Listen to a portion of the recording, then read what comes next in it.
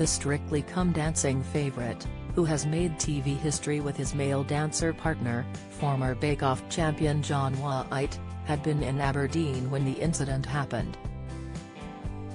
Talking in an interview with the Radio Times, he revealed, they thought I looked like someone suspicious. I was having a coffee and had a black leather jacket on and a black cap, and that was enough for them to ask me for my ID and ask me what I was doing in that place. He added that this type of incident happens often. The dark-skinned South African has experienced more than his fair share of possible racism at home too, though, and he claims he'll never return to living in his country of origin. The British are very, very progressive, he revealed. I'm not going back home, for many, many reasons. Fortunately, he doesn't need to, as he has received a warm welcome from many Strictly viewers, with his dances going down a treat. Most recently, audiences delighted in his and John's salsa to classic Sisters Sledge anthem We Are Family. Behind the scenes, there has been less prejudice than the pair expected, as a mixed-race, same-gender dance coupling. He continued, we anticipated flack. We anticipated trolling and hate mail. But it's actually been kind and generous.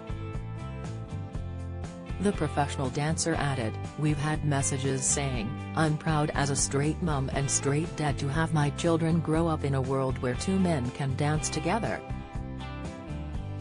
He added that he had occasionally read tweets from those saying that their grandmother gets up and leaves the room every time he arrives on stage.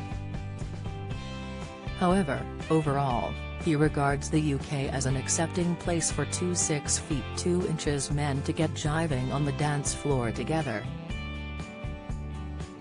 While has adamant that he only wants to be judged on his dancing abilities, and not on the sensation his progressive attitude has had caused in society, he acknowledges that appearing as a same-sex couple on mainstream TV has made huge strides for the gay community. This past weekend, during We Are Family, a lift attempted by John went wrong, leaving Johannes crashing to the floor, the pair then had to endure the humiliation of Judge Craig beaming, I love it when things go wrong.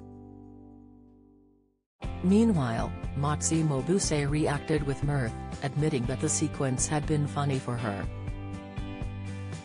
A shame-faced Johannes claimed afterwards that head looked like a sack of potatoes during the lift but John raised a smile with some playful banter, later claiming on Instagram, when life throws you a sack of spuds, you throw it over your shoulder anyway, then drop it and slap it on the arse.